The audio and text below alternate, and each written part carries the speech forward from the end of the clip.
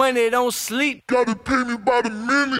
Money, money, money, money, money, money, money, money, money, money, money don't sleep. Gotta money, money, money, money, money, money, money, money, Money don't sleep. Gotta money, Money, money, money, money, money, money, money, money, money, money don't sleep. What's up guys, my name is Jake Rich, I'm a social content creator and right now we're at the Red Bull Music Festival here in Melbourne. So I thought I'd give you guys a few tips on how to shoot a music festival.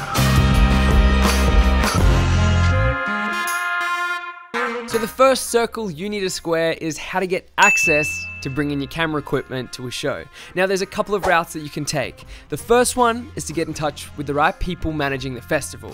The Red Bull Music Festival team here in Melbourne granted me an all access media pass to publish this video, but in my early days of volunteering in community radio, obtaining a media pass to a music festival was merely an application form. So the second option is to volunteer for a media publication, community radio station, or popular music blog. Now the final route is to be working directly with an artist and their team, and they're going to be able to provide you with the correct accreditation to grant you access to get you these shots. In terms of the camera body, I'm shooting on the same camera that I've shot on for the last four years, the Sony a6500. Now I like this, it's an APS-C, crop censored mirrorless camera, and the settings that I've used, the settings that I've had set up on this camera for the last couple of years, 1080, 100 frames per second at 100 megabits per second with a shutter speed of 200. You know, it's just double the frame rate. I really don't know what I'm doing though. Alright, so tonight we're gonna be shooting on two different lenses. I'm gonna be using, they're both art series lenses, they're both really low aperture, so it's gonna allow a lot more light to come in. I got one f4, one 1.4, and one 1.8. I'd say if you are shooting music stuff, it's probably best to try and capture stuff with like prime lenses, because you don't have to do too much fiddling, but we've got an 18 to 35 zoom, which is also nice. It's got that low aperture, it lets a little bit more light in, gives you a lot more to work with when you're up there and you're in those low light conditions. So let's go check these out and let's go shoot.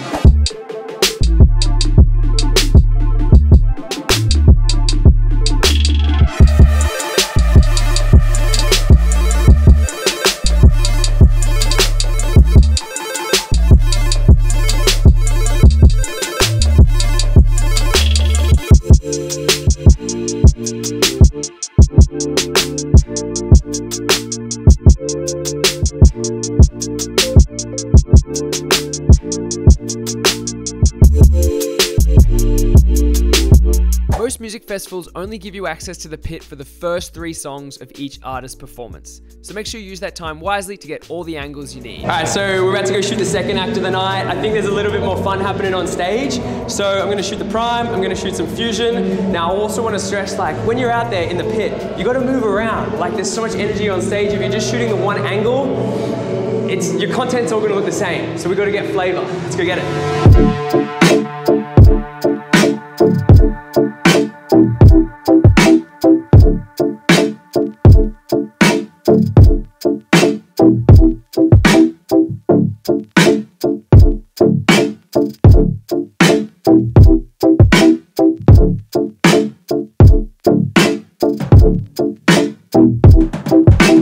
So the first show we pretty much just shot on the 18 to 35 and then I shot a little bit on the um, 18 to 105. I like having at least one zoom lens while I'm out there just because like you want to get some stuff up tight with artists, you know, you want to be able to get in and zoom in. So having something which goes a little longer is nice, but it's an f4 so it's not going to let as much light in.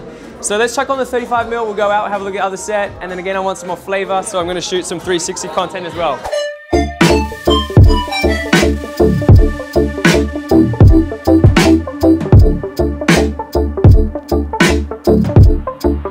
Thank you.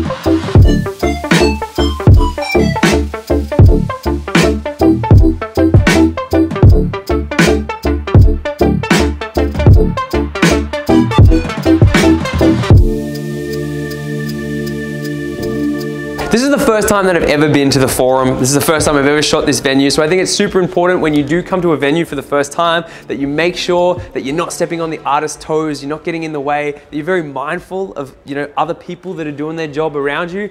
That's something super important. Your job is to make sure that your content looks good, but don't be a diva, okay? Make sure you're thoughtful, make sure you're mindful what else is going on. And you know, if you muck up or if you screw up, like in terms of like your content, be chill, be chill. It's okay. You'll live.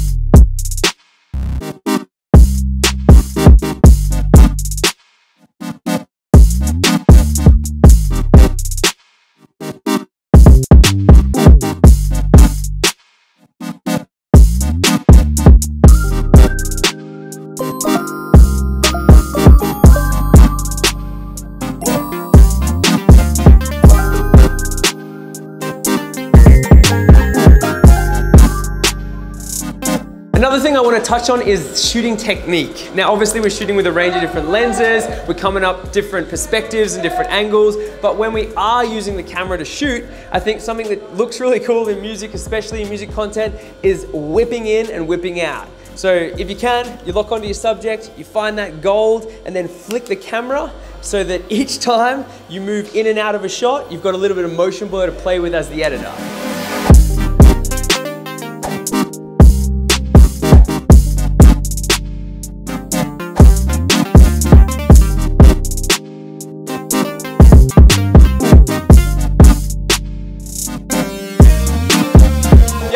Love to do while I'm shooting these kind of events, I'm always looking and on the lookout for things like blockers to give some more dynamics and motion to the camera. I don't want still footage. I want to be able to like move around something or if I find like a post, you know, out there there's a railing, we're going to go use that to kind of like add a little bit more motion to our shot.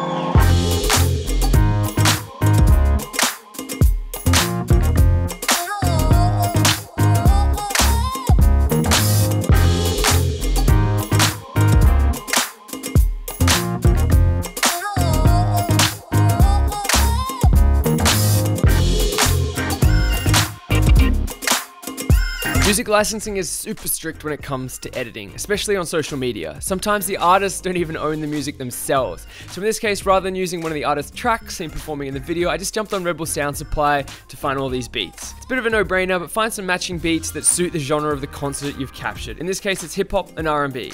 How'd I do? Vibes? Yeah, mama told me always watch for them snakes.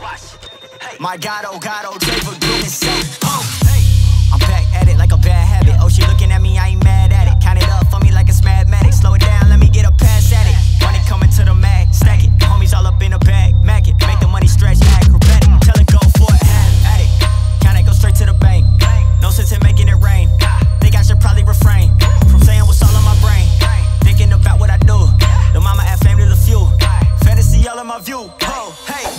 You, you guys have found some value in this video. If you have, or if you're new around here, these videos are all about travel, creativity. Hopefully there's some inspiration. If you have liked the video, punch thumbs up. See you guys in the next upload. And um, yeah, yeah, peace.